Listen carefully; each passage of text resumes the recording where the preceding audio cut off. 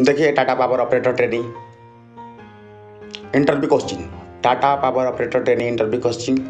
Transformer subject से। देखिए, step to में अभी डॉक्यूमेंट वेरिफिकेशन के लिए प्रोसेस ख़त्म हो गया होगा।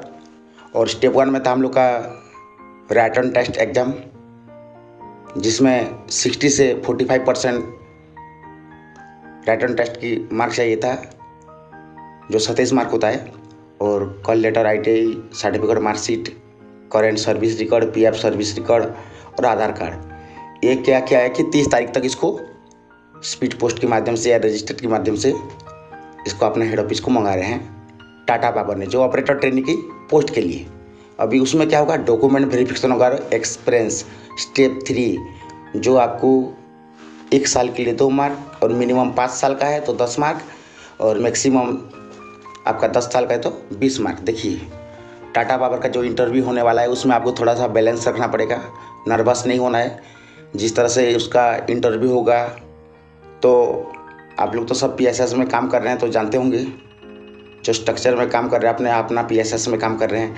तो ये जो क्वेश्चन आ रहा है, ये नमस्कार दोस्तों, मैं बी पटेल इजी इलेक्ट्रिकल में आपका स्वागत है। अगर आप मेरी चैनल को सब्सक्राइब नहीं किए तो प्लीज़ इजी इलेक्ट्रिकल को सब्सक्राइब करिए। और लाइक शेयर तो ज़रूर करिएगा।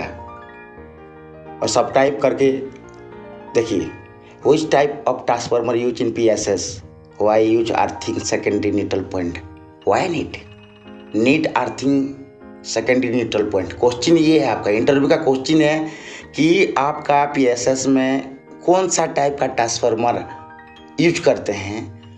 और जो ट्रांसफार्मर का सेकेंडरी साइड जो न्यूट्रल पॉइंट में आर्थिंग हम क्यों लगाते हैं? ये इंटरव्यू का स्टेप फोर का ये बेहतरीन क्वेश्चन है। जैसे मैंने पहले जो जेटी का, टाटा पावर जेटी का मैं इंटरव्यू निकाला था तो उसमें बहुत आदमी मुझे लाइक किए हैं कि सर आपका क्वेश्चन हमको कई बार पूछा गया है। देखिए स्टेप फोर में देखते हैं इंटरव्यू और इंटरव्यू में है ट्रांसफार्मर सब्जेक्ट से कि जो सब स्टेशन है, जो पावर सब स्टेशन है, उसमें कौन सा टाइप का हमने ट्रांसफार्मर यूज़ करते हैं? और जो ट्रांसफार्मर का जो सेकेंडरी साइड न्यूट्रल में हम आर्थिंग क्यों लगाते हैं? ये क्वेश्चन है इंटरव्यू का। आप ध्यान से सुनिए। और एक बात बता रहा हूँ कि जो स्ट्रक्चर में कौन सा टाइप का ट्रांसफार्मर यूज़ होता है और सेकेंडरी बाइंडिंग का जो न्यूट्रल पॉइंट है, उसमें हम आर्थिंग क्यों लगाते हैं? ट्रांसफार्मर टाइप देखते हैं। Mainly transformer basically three type का होता है shell type core type and berry type ये तीन टाइप का ट्रांसफार्मर होता है। Shell type core type and berry type तो जो हम लोग का पावर सब स्टेशन है, जो पावर सब स्टेशन में हम क्या करते हैं? सेल टाइप ट्रांसफार्मर यूज़ करते हैं। ये जो ट्रांसफार्मर का टाइप है तो इसमें बोल रहा है कि ट्रांसफार्मर टाइप में जो पीएसएस में हमने क्या करते हैं? नंबर एक में जो है, जो सेल टाइप का ट्रांसफार्मर है, उसको हमने क्या करते हैं? यूज़ करते हैं। कौन सा टाइप का? सेल टाइप का। अच्छा आंसर में होगा आपका, मैं लिखते हैं सेल टाइप ठीक है? और देखिए, इसमें सेल टाइप कोर टाइप और बेरी टाइप इसमें फ़र्क क्या है? आपको मैं बताता हूँ कोर की फ़र्क है। जैसे सेल टाइप में क्या होता है? ई एंड आई का क्या होता है? कोर होता है। जो कोर की बनावट है, जो बनावट है ई एंड आई का होता है। बेरी टाइप में तो सिंगल वही है और कोर टाइप में क्या रहता है? एल एल इस तरह का कोर रहता है उसमें। जो कोर का टाइप है, जिसकी बनावट है, इसी से shell type core type berry type अच्छा सेल टाइप में क्या होता है कि आपको जिसमें ऑयल फिलेट होता है ट्रांसफार्मर ऑयल जिसमें फिलिंग करते हैं, वो सेल टाइप का ट्रांसफार्मर होता है. जिसमें ऑयल फिलेट करते हैं, उसमें सेल टाइप का ट्रांसफार्मर होता है. ठीक है नंबर स्टेप फोर में देखते हैं आपने जो इंटरव्यू में आपको पूछा गया है पीएसएस में पीएसएस में हमने क्या किए हैं? सेल टाइप का ट्रांसफार्मर यूज़ किए हैं पीएसएस में। जो पावर ट्रांसफार्मर है। कौन सा टाइप का है? सेल टाइप का। मैं बार बार बोल रहा हूँ आपको। इस क्वेश्चन को अपने याद रखिएगा, ठीक है? तो इसमें बोल रहा है why need neutral point earthing question ये है। ये सबसे बड़ा क्वेश्चन है। एक क्वेश्चन आपको पूछा जाएगा। ठीक है? ये लाइनमैन का जान क्वेश्चन है और ऑपरेटर ट्रेनिंग का तो ये जान क्वेश्चन है। क्योंकि आप लोग को पाँच साल हो गया है छः साल हो गया है, सात साल हो गया है काम करते हुए। अगर आपको ये नहीं पता होगा कि इसका क्या काम है तो सोचिए आपने तो ये क्वेश्चन आना ही आना है और इस तरह से आपको, मैं जिस तरह से बता रहा हूँ, उस तरह से आपको जवाब भी देना है। देखिए, ठीक है। अब देखिए why need earthing neutral point हमने एक ट्रांसफार्मर का बाइंडिंग बनाया है डेल्टा एंड स्टार प्राइमरी आपका डेल्टा और सेकेंडरी स्टार इसको नाम दे देते हैं R Y B and neutral इसमें न्यूट्रल है और आर्थिंग भी कनेक्टेड है। मैं आर्थिंग का सिंबल बना दिया हूँ। अर्थ ये आर्थिंग का सिंबल बना इसमें कनेक्टेड है। ठीक है? ये सेल टाइप का ही मैंने आपको डायग्राफ बनाया हूँ, जो पीएसएस में लगा रहता है। ठीक है? और ये जो है, ये है आपका न्यूट्रल पॉइंट ये जब दिखा रहा हूँ, ये हो गया आपका स्टार और ये हो गया डेल्टा बाइंडिंग का कनेक्शन का टाइप है। डेल्टा स्टार, ठीक है? ये आपका प्राइमरी बाइंडिंग हो गया है और ये आपका सेकेंडरी बाइंडिंग हो गया है, ठीक है? ये सेकेंडरी बाइंडिंग हो गया है। मैं आपको समझाने के लिए ये डायग्राम बनाया हूँ। नहीं तो इस डायग्राम का कोई ज़रूरत नहीं था। जो ये कनेक्टेड है, यहाँ पर क्या होता है? हमने ये न्यूट्रल पॉइंट होता है और यहाँ पर हमने आर्थिंग लगाते हैं। ये ये उसका आंसर देखिए।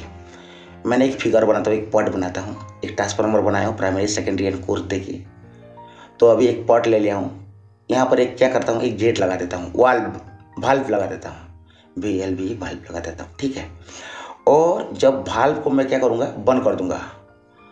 जब बंद कर दूँगा तो इसका जो पानी है, इस तरह से रहेगा, ठीक है। इस तरह से आपका पानी है, और आपका जो वाल्व है जो नल है वो बंद है। नल अभी बंद है, ठीक है। और इसमें मैं क्या करता हूँ, आपको पूरा विस्तार रूप में समझाने के लिए एक मैं डायग्राम अलग से ग्रुप बनाता हूँ। ऐसे में आपको समझ में नहीं भी आएगा। तो मैं इस तरह से समझा दूँगा तो आपको एक बार में समझ में आएगा और ज़िंदगी भर आप भूल नहीं सकते इस आंसर को। ठीक है? ज़िंदगी भर इस आंसर को आप भूल नहीं सकते हैं। देखिए, मैंने बना दिया डेल्टा स्टार का आर वाई बी ठीक है? ये आपका न्यूट्रल पॉइंट है, ठीक है? ये आपका न्यूट्रल और यहाँ पर हमने यूज़ किए हैं अर्थिंग ठीक है? अर्थिंग हमने यूज़ किए हैं। ये आपका नीट वाई नीट ये अर्थिंग ये अर्थिंग क्यों ज़रूरी है, ठीक है? वाई नीट ये अर्थिंग क्यों ज़रूरी है? तो अभी गेट क्या है आपका? जो गेट है, जो नल है आपका, बंद है।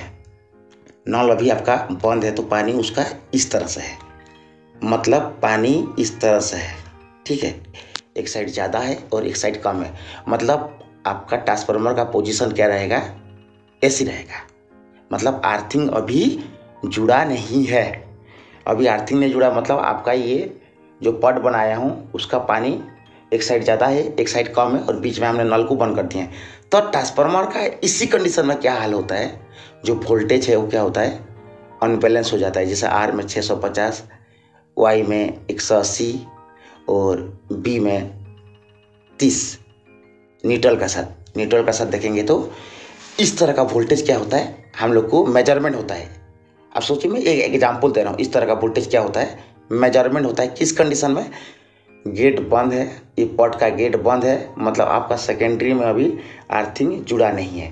जब आर्थिंग जुड़ा नहीं है, तब क्या होता है? इसका जो वोल्टेज जो होता है, वो अनबैलेंस होता है। आर्थिंग अगर टूट गया तो वोल्टेज क्या होता है? अनबैलेंस होता है। जब हम इसको ओपन कर देंगे, किसको? इस नल को ओपन कर देंगे या ये पट का नल को ओपन कर देंगे। मतलब ओपन मतलब यहाँ जो न्यूट्रल में हमने क्या करेंगे? सीधा सीधा आर्थिंग कनेक्ट कर देंगे। आर्थिंग को जोड़ देंगे। जब आर्थिंग को जोड़ देंगे तो ये पट का क्या होगा? मतलब नल को ओपन कर देंगे। दो, ये पट का क्या होगा? बैलेंस वाटर आपका फिलअप हो जाएगा। बैलेंस वाटर आपका फिलअप हो जाएगा। इसका मतलब जो ट्रांसफार्मर का न्यूट्रल में हमने आर्थिंग लगा देंगे तो क्या होगा हमको? बैलेंसिंग वोल्टेज मिलेगा। बैलेंसिंग वोल्टेज मिलेगा और उसमें ट्रांसफार्मर को कोई खतरा नहीं है। लेकिन न्यूट्रल नहीं लगाएँगे तो ट्रांसफार्मर का सेकेंडरी बाइंडिंग को लोड दे देंगे तो इफ़ेक्ट पड़ सकता है और लोड नहीं देंगे तो कोई दिक्कत नहीं कर सकते हैं। लेकिन न्यूट्रल जब आपका लगाना ज़रूरी है।